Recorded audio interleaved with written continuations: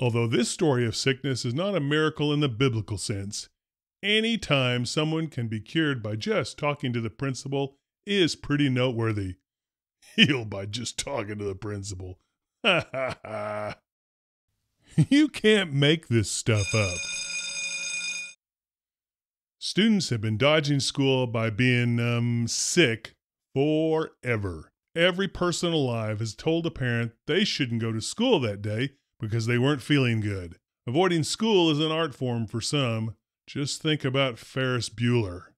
For the school's part, most public schools are funded based on the number of students attending each day. School dodgers don't help funding.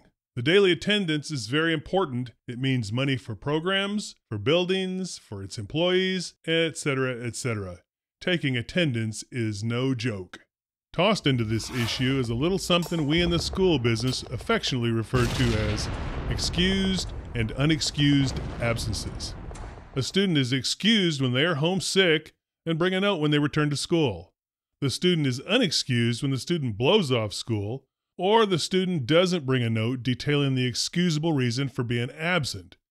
The failure of this system is when a parent is perfectly willing to write a note lying for their student. Can you spell role model? And I promise you, it's not a fight worth fighting. Not coincidentally, some of the most disrespectful behavior I've ever witnessed from a student to a parent correlates very strongly with these parents whose integrity appears to be so malleable. Now, for those of you not in education, too many unexcused absences causes the student problems. Problems like truancy issues, losing eligibility, losing privileges, and the list goes on and on. Now, back to being sick. My parents were decidedly old school. If there were no plans for your funeral, you'd better get ready for school and don't be late. Then off to school in the snow, uphill, both directions. Now for today's story. I flatter myself that my BS meter is pretty accurate. When a student showed up at my office wanting to go home sick, I knew two things. First, they didn't want to face the school nurse. My school nurse, like every school nurse I've worked with, treated students with kindness and a very large dose of reality. The school nurse didn't play. Secondly, they had been rehearsing the meeting all the way to my office. By the time they arrived at my door, many were weak, some could barely walk, and I even had one that was drooling. Since just feeling bad is such a difficult thing to define, it might not get you the free pass. Vomiting was always the ailment of choice for students. It was serious, non life threatening, impossible to prove, and easier to discuss than diarrhea. On this day, my secretary notified me over the intercom that little Johnny needed to see me. He claimed he was at death's door and needed to have his grandmother come after him. He thought he might even need to go to the emergency room. Johnny moved into my office with the speed of a slug. Everything but the slime trail.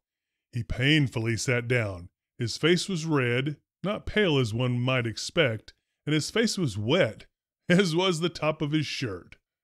A certain sense of humor is required to deal with students.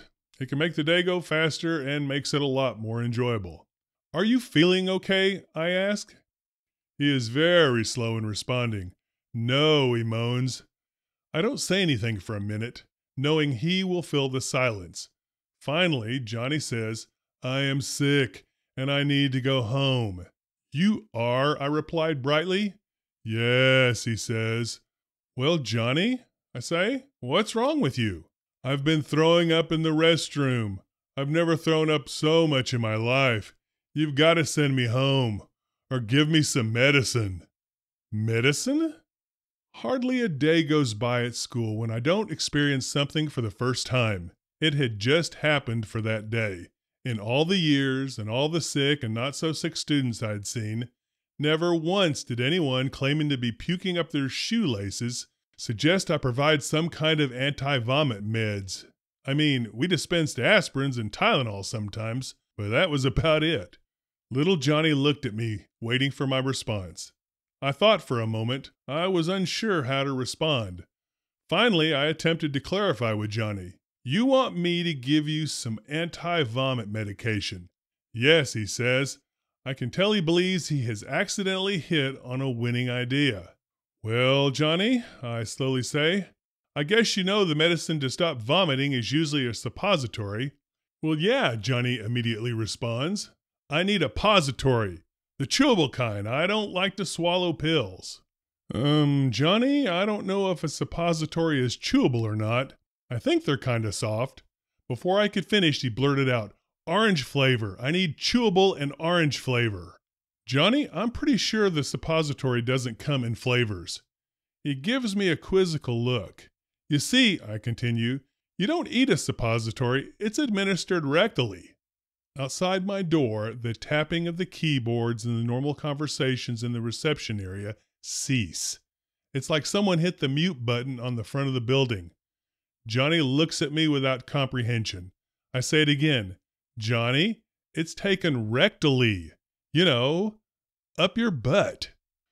Little Johnny's face contorts at the realization of my words. He leaps out of the chair and yells, That's gross! His sudden movement makes me jump. All at once, he is miraculously healed from his sickness. Before anything else could be said, he turns and bolts from the office.